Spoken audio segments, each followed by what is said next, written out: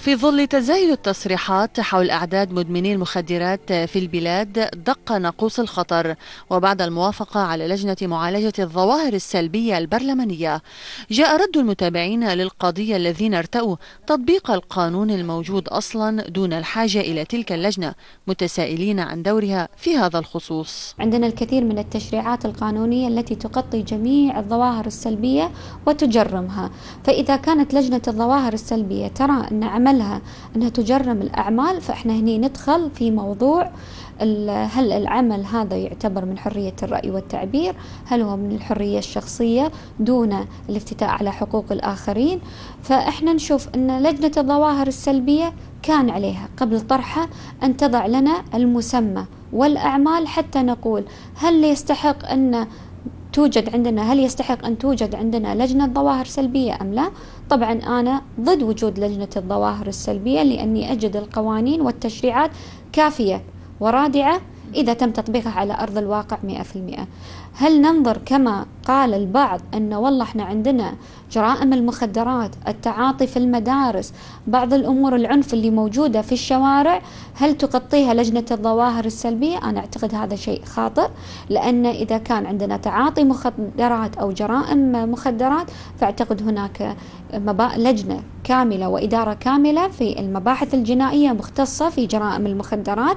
وكذلك عندنا وزارة التربية إذا كان هناك تعاطي أن تقوم في عمل دراسة وحل وعلاج لظاهرة المخدرات. وإذا كنا نرى أن عدد الطلاب أو في يعني الطلاب في المدارس بكثرة ويتم نشر الحبوب والمؤثرات العقلية والمخدرات أعتقد إحنا نحتاج إلى وضع دراسة لحماية هذه الفئة. وليس لعقابهم عن طريق لجنة الظواهر السلبية. وفيما لا توجد إحصاءات رسمية بالعدد الحقيقي للمدمنين إلا أن الرقم التقديري حسب المختصين يبلغ حوالي عشرين ألفا أو يزيد قليلا. ولكن ما مدى خطورة هذه القضية على المجتمع؟ وكيف تنعكس سلبا على متعاطيها؟ يمكن أكثر من ذلك. ولم تعد هذه الظاهرة أصبحت مشكلة كبيرة بدأت يعني تؤرق مضاجع الأهل والحكومة.